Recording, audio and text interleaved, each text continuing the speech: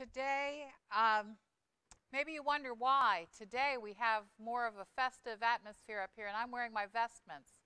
Didn't wear them this summer, mostly because it was just way too hot out here to put anything else on.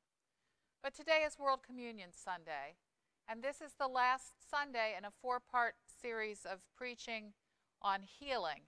And I give thanks to God for my colleague, my dear friend, and my surrogate son, the Reverend Dr. William Brown, who was here with you last week to lead worship. And he sent me during the week an email that said, Send me your outline for your sermon so I know where you were going to go. And it was amazing. He took my outline and made it his own. And it was a lovely sermon. My mom and I watched it last Sunday night uh, from my house. So for this World Communion Sunday, I'm not going with the traditional lessons, but I'm going to go with one because we're talking about healing in the largest sense of God's ability to heal the world. We're reading from Luke, the 12th chapter. The words will sound familiar to you because in Matthew they're called the Sermon on the Mount, where Jesus takes his disciples up the hill to teach them.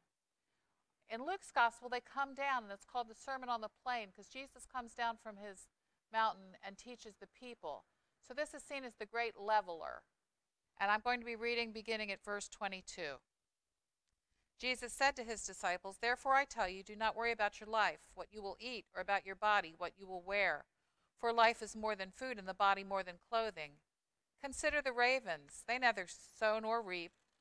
They have neither storehouse nor barn, and yet God feeds them. Of how much more value are you than the birds? And can any of you, by worrying, add a single hour to your span of life? If then you are not able to do so small a thing as that, why do you worry about the rest? Consider the lilies, how they grow. They neither toil nor spin. Yet I tell you, even Solomon in all his glory was not clothed like one of these.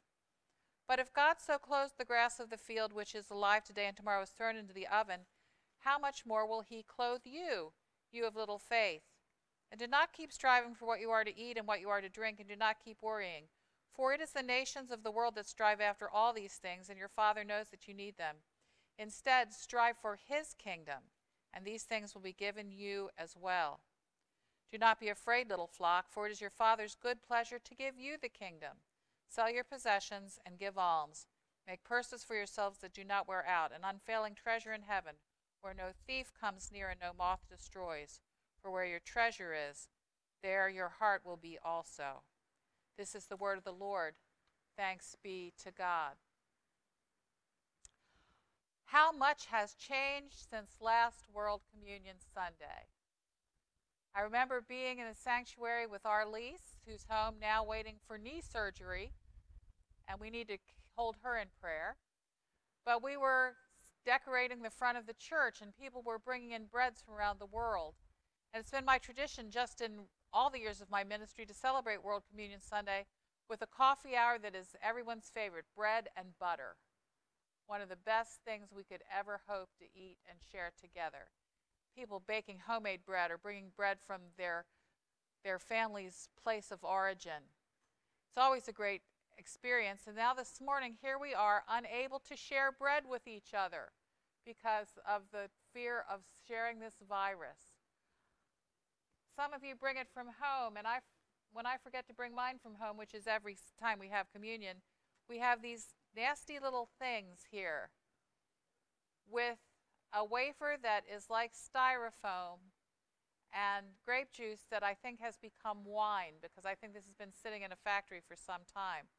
But if you look at it, it says, This is my body which is broken for you. Take, eat. Do this in remembrance of me.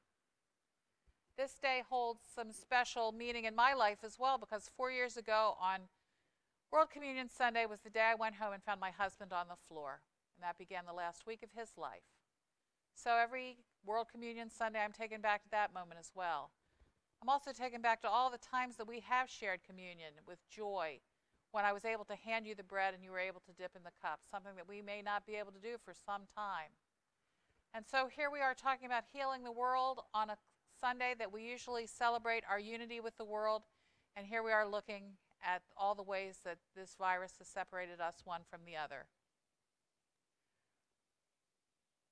But communion, which is one of the central understandings that I have of Jesus in the church, this is where I feel every time I serve communion again, I feel the presence and power of Christ in our sharing. Communion is what forms me. Communion will have confirmed my call. Because believe it or not, when I was young and felt called to ministry and said to people, I feel called to be a pastor, some of them would say, Oh, honey, snap out of it. You were called maybe to marry a pastor or to work in the church or to be a Sunday school director. But it was communion and baptism that confirmed me that my call was to share with you the sacraments, the presence of Christ in a very real way as a means of grace. But communion for us is a sign. It's not a symbol. We're not remembering what Jesus did, we're participating with Jesus. But even though we're unable to share together in the way that we have so many times, communion has been with us. It's part of who we are, and it's part of what we take into the world. And this morning, I want you to think of the strains through Scripture that we read this morning from the prophet Isaiah. He shall judge between the nations and shall arbitrate for many people. They shall beat their swords into plowshares and their spears into pruning hooks. Nation shall not lift up sword against nation, neither shall they learn war any more. The time of the prophets. Through the time of Paul's letter to the Romans, his great theological treatise, and what does he say about our enemies? Love them, just as Jesus commanded. Love your enemies. Pray for those who persecute you. Outdo one another in showing honor. And then this part that always gets me live in harmony with one another. Do not be haughty, but associate with the lowly. Do not claim to be wiser than you are. Do not repay anyone evil for evil, but take thought for what is noble in the sight of all. If it is possible, so far as it depends on you, live peaceably with all. And then the words of our Lord Jesus Christ to his disciples Don't worry about this world. Don't worry. Hard to do right now, I know. Don't worry because God knows what you need, and the nations of the world strive after these things. But God is giving you a kingdom that is unlike anything this world has seen before, and you are to live in the kingdom. And we, as Christ's people, are called to embody the kingdom in a very real way for each other. Hard to do when we can't even touch each other and shake hands anymore. Very hard to do in a world so divided politically, so divided by what the nations are standing for against one another in the world. So hard when people, even on Facebook, can't seem to say anything nice to those. Facebook amazes me because who are you talking to on Facebook? The people that you've chosen to be your friends. And then we try to beat them up and change their minds about politics and religion and everything else that happens. But just as the strain of God's will for humankind, God's willing humankind toward peace, they shall beat their swords into plowshares. Not it's a possibility, they shall.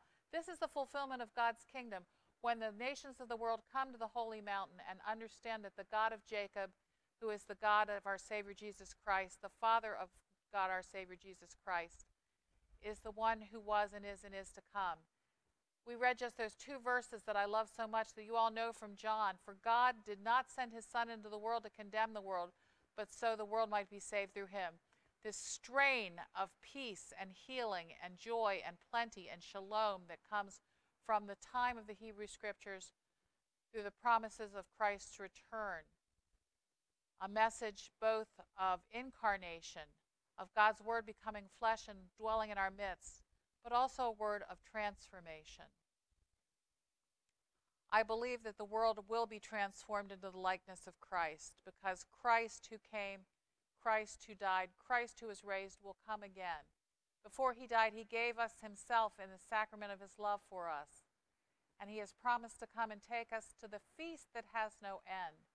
And so, even in the midst of pandemic, even in the midst for some of us of grief and death, so very recent, even in the midst of uncertainty, even in the midst of frightening news about our country, the president and his wife and so many people in his administration now sick with the virus, leaving us all concerned. An election coming in about a month that has us so torn apart.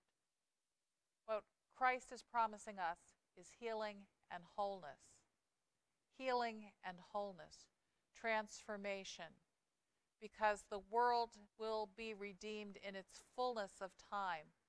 But until then, when we can't gather at the table together, Remember all the times you have shared communion. Remember all the times that you have taken the bread of one loaf and shared it with each other. And even when we don't have one loaf, because in recent years, people are no longer able to eat gluten, they found that they're allergic to wheat. We may have two loaves and two different cups, but we're still at one table. And even though some of our family in Christ here at Epworth is celebrating at home today around tables with bread and juice, or cookies and crackers and coffee or whatever you have, what you've brought with you today, or even these little tiny cups packed in a factory so far away, we are still one in Christ. And we are the bread, and we are the wine that goes into the world in the name of Jesus Christ. Because God in Christ has given us a kingdom that is imperishable, a kingdom that will never be undone, a kingdom that is eternal, a kingdom that has power attached to it because the power of God acts through God's people in all times and all places.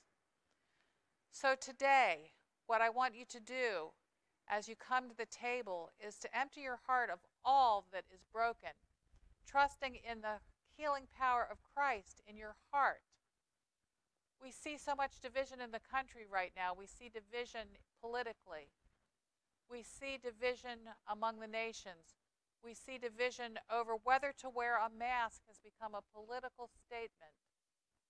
And people are accusing people of faith of having no faith because we're gathering in parking lots instead of in the building, because we're trying to figure out what is right and trying to discern God's will for keeping us safe.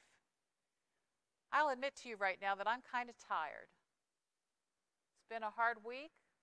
We buried my father this week.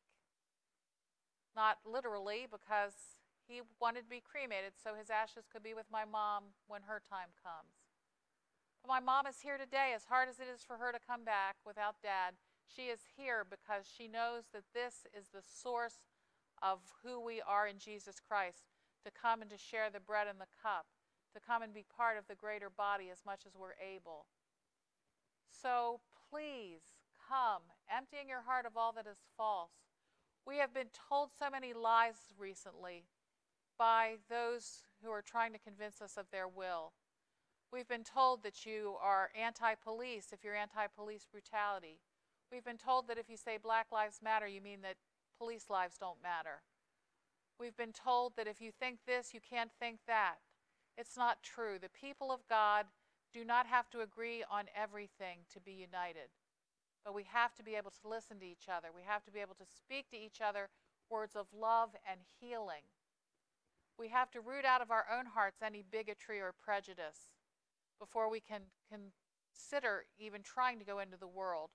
We have to take the words seriously, both of our Lord and Savior Jesus Christ and of Paul, the great apostle of the church, that if your enemy is hungry, you feed him. If he's thirsty, you give him water. You do not return evil for evil, but you return evil with good because God in Jesus Christ has come into your heart and you have a kingdom at work in you. And when you leave this place, remember that you leave as the body and blood of Christ because Christ has chosen to live in you. Christ will be working through you. So let your words be words of healing and hope, even in these difficult days. Let your words be words of wholeness and peace even starting with your own families and spreading to your neighbors. So if people want to fight with you, so far as it depends on you, live at peace with all, because the peace of God, which passes all understanding, is what keeps our hearts and our minds in the knowledge and the love of Christ our Savior. We're going to come to the table, not literally this morning, but we're going to have the table come to us. And I want you to go into the world as best you're able, whether it's remotely through Facebook, however you're getting along in the world, I want you to greet each other with hope and peace because the world needs to see that example in us if it's ever going to heal. So this morning, as we come to the table, I want you to pray that all that is false in each of our hearts might be taken away so that we might be filled with the love and the power and the peace of Jesus Christ. We're going to sing a song that is probably not as familiar to some of you. We've sung it a few times here, but we've been apart so long. Even if you're not singing in your car, I want you to look at the words. Here is grace. Here is peace. Christ is with us. He is with us. Know his grace. Find his peace. Feast on Jesus here. In this bread, there is healing.